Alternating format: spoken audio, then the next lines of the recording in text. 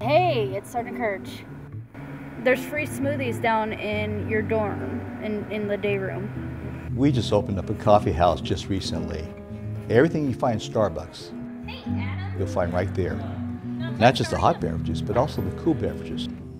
Uh, my favorite drink, I like mocha latte.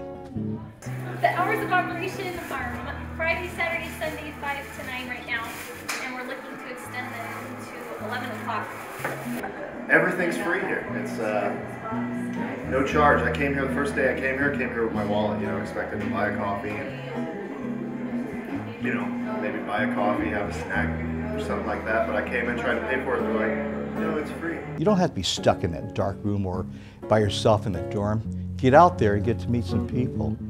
And even if you just want to be by yourself, it's also a place for you to just kind of find a solace there, just relax and enjoy. But also we have some great people there.